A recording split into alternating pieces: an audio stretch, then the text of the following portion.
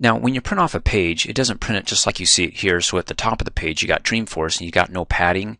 Those are called margins. And if you come up here and click on the File tab, go down to Print, you can see over in the Print Preview, you've got some padding there, some space. That's your top margin, padding to the left, left, and right margins in the bottom. If you want to go ahead and try to squeeze more data onto your page, like if you have another column, go ahead and try to tweak your margins like the left and right, make them smaller so you can add another column. To do that, you can do it, well, while you're here in the print preview area, go down and click on the page setup link. Go to the margins tab and there you go. You've got your top, bottom, left, and right. You get a little preview window so you get an idea of what it's going to be looking like, where the margins are at. So if I go ahead and toggle all the way up to maybe five inches from the top, and let's say the left, we do, oh, maybe an inch. Well, see, if you want an inch and a half, and by using the spin dials, it doesn't get you there, then go ahead and type over it, and then click OK and see what it looks like. Oh, look at all that padding. Well, that's going to push everything over several pages and give me a lot of blank space. So if I go to page 2, you get that padding for the margin, the top margin, on every single page. And that's not working for me. So we can go ahead and either go back to the page setup link or you can click on the drop down arrow here and you can see that the last custom setting is the one that we have now for the margins or pick one of these built-in ones. Like if you want the top to be three quarters of an inch and the bottom left and right or you can go down to custom margins brings up the same page setup window and you got your margins tab. Or you can go ahead and click cancel. In the lower right hand corner in the print preview you can show the margins and here you can actually click and drag and move your margins around. So if you don't like it right there, just go ahead and hover over the top margin until you can see arrows pointing up and down. Click and drag and push it up and push it up some more. And that looks about right. But if you're like, oh, I want it to be exactly one inch, you can look over to the left hand side and you can see now it's at left one inch. When I click and drag it and move it over a little bit more, it updates it to 0.83.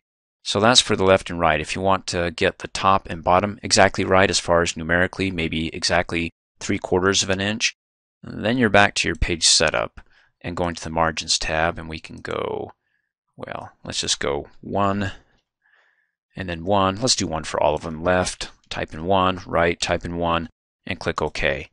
Now something's going on here because instead of two pages, I've got three. When I go to the third page, I'm like, well, there's nothing there. Sometimes it bumps it just enough that it'll actually create a third blank page. And to get around that, we've got to shrink our left and right margins because apparently it's creating that third blank page. So if I come over here and click and drag this over just a little bit, I still have three pages. How about the right over just a little bit? Okay, a little bit more. Hey, there we go. Now we finally are able to fit this all on two pages and not three. Now you can do it backstage here, or if you don't want to go backstage, and by the way, to turn off the show hide margins, click on show margins to turn them off. Let's click the back arrow. You go to the page layout tab and you can click on the expandable dialog box button for page setup. You get the same window. You just have to click on the margins tab or close out. You can click on the margins drop down arrow, get the last custom setting and also some defaults or you can go to custom margins, brings up the same page setup window, but it takes you right to the margins tab of the window. And then, of course, you can go ahead and make your changes there as well.